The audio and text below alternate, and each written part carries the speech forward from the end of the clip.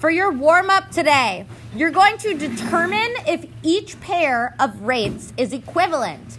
I want you to get this down to the unit rate, to the unit rate, and tell me if each pair is equivalent. Okay, so first of all, we set this up 20 miles in five hours, 45 miles in nine hours. I think that's what the question was. Yeah. So, how do we simplify this? We want to get it to unit rates. This is pretty simple, Jaden. Uh, first one you divided by five. First one we divide by 5. That's the GCF. What's 20 divided by 5? Show me your fingers. Yeah. Hey guys, super easy. What's 5 divided by 5? Fingers. 1. So our unit rate is 4 over 1. What about the next one? What are we going to divide by? What about the next one, Kyle? 9. Exactly. What do we get on the top? Number of fingers. 5. What do we get on the bottom? Number of fingers. 1. So, which one is bigger? Which one's bigger? What do we get, Chase? This one? That's bigger? The other one, the 45. Yes. Are these equivalent? No, they are not equivalent. I want you guys to try this one as well and tell me if these are equivalent or not. So, first things first, we'll set up our ratio. We have three shirts for $21. Our other ratio is five shirts for $35. Make sure you guys have this on your paper. Let's make these into unit rates. Let's make these into unit rates. Simplify 3 over 21? What am I going to do, Shiley? Divide by 3. What's 3 divided by 3? Number of fingers. Number of fingers. It's 1. 3 by 3, guys. What's 21 divided by 3? Number of fingers. 7. What are we going to do on the other side? What are we going to do on the other side? Let's see. Yes, Jocelyn. Jasmine. Sorry. Divide by 5. Hey, guys, number of fingers. What's 5 divided by 5? One number of fingers? It's 1. What's 35 divided by 5? It is 7. So are these equivalent fractions? Yeah, they're the same thing. We get one shirt for $7. Excellent. Here's an example, too. We can compare with butterfly math. You guys may have heard of this. I love butterfly math. So, you remember these ratios. Were these ratios equivalent or no? No. These were our earlier ones and they were not equivalent. We can test it with butterfly math too. Butterfly math, we're multiplying like that. It looks like a little bit of a butterfly. You see? Like or whoop, whoop. Yeah, I taught it. I taught it for third graders. So, what is five times forty-five? Who can do that? Take your time. Write it down on your paper. It's actually not important that we do it. What is it, Kyle? Correct. It is. It's not important that we do it on the paper. 225. What is 20 times 9? This one's pretty easy. What is it, Sean? Um, it's the same as 2 times 9 with a 0 at the end. What is it? Caesar. 180. 180. So I'm going to ask you, is 180 equal to 225? No, so we know these are not equivalent. And which fraction's bigger? Which fraction's bigger, Shiley? Yeah, the one with the 225. So this fraction's bigger. That's a quick way we can tell if things are equivalent and which one's bigger. This helps if we can't necessarily get it down to a unit rate. If we can't necessarily get it down to a unit rate, you can use butterfly math. Open your books and pick three of A, B, C, or D on page 60 and 61. JJ is going over A. First, you have to put the 3 on top of the 36. Oh, wait. Oops, I'm, that's my bad. There you go.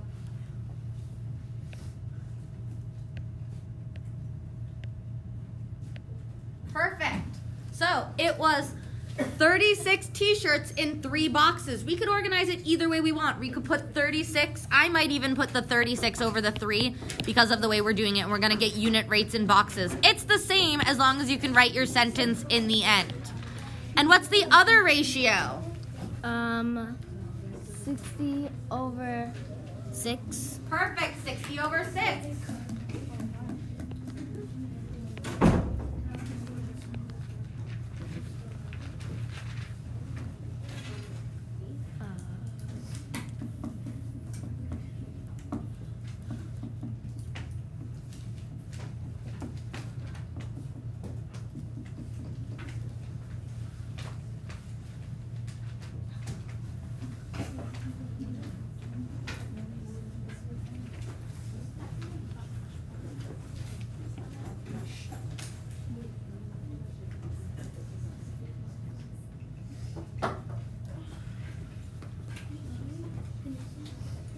Keep walking us through it, JJ. Oh.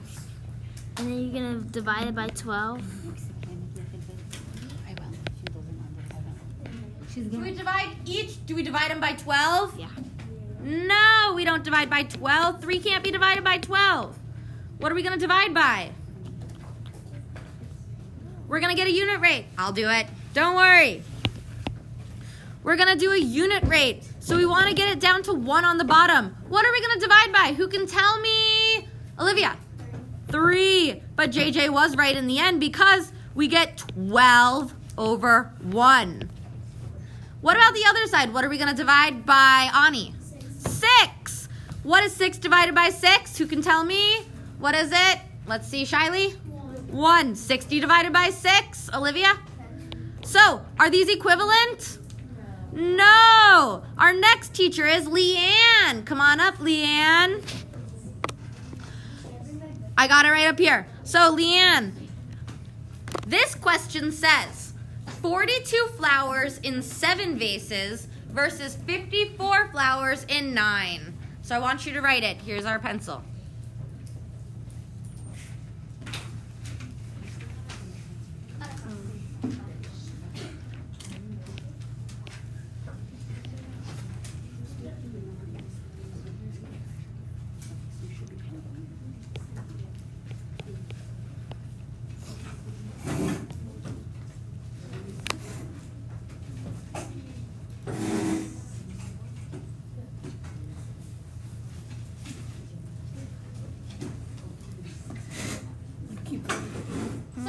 So through it, Leanne. We're going. So what do we do? You're the teacher. We're gonna divide each to try to get our unit rates. What do we get? Go us walk us through it, Liam. You divide by 7. We divide by seven, and what do we get? 1. And what's on the top? Um, 8.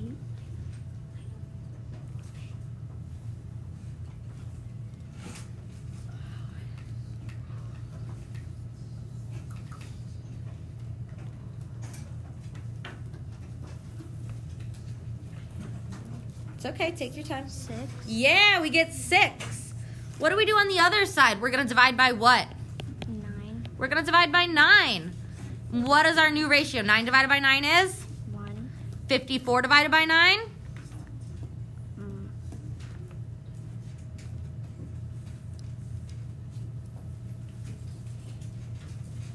Um, 6. Six. Excellent.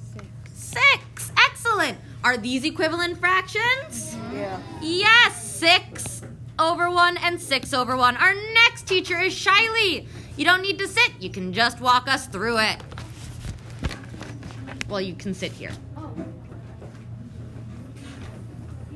Your seat.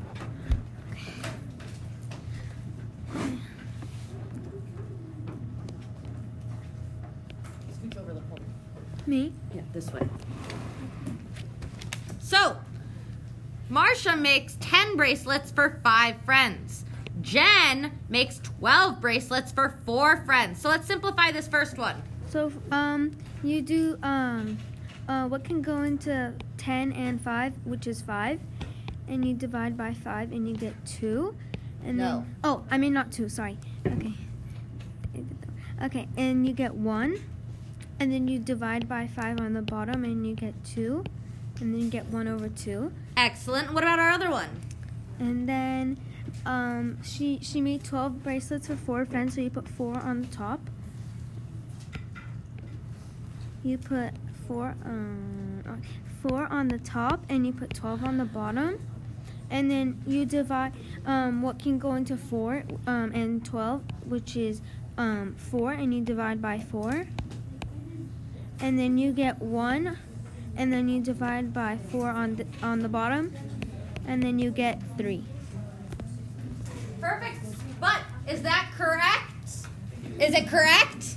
Yes. Yes. Are these equivalent? No. No, these are not equivalent. Get up. Okay. Jaden, come teach the last one. Remember, you don't need to pause, just walk us through it.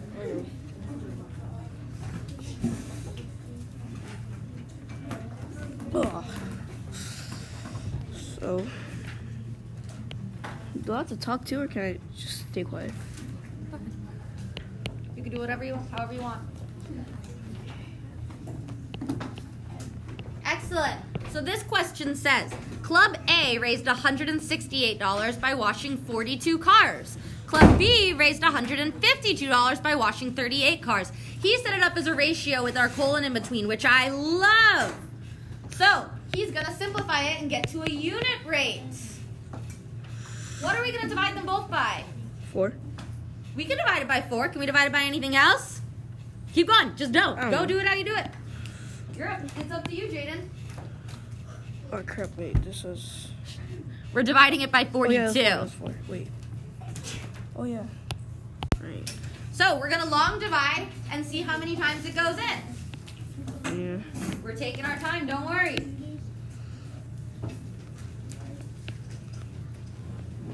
Look at that. Wait, wait, no, no. Wait, it. How do It goes in it? exactly four. So we get our ratio as a four to one ratio. Let's check with our next one. Let's check with our next one. We want to divide by 38 on both sides. Oh yeah, I was confused. So let's see what we get, Jaden. Gonna get four over one. We get a four which is exactly, and if we proved it with long division, 38 times four, we get two, three, 12, 152.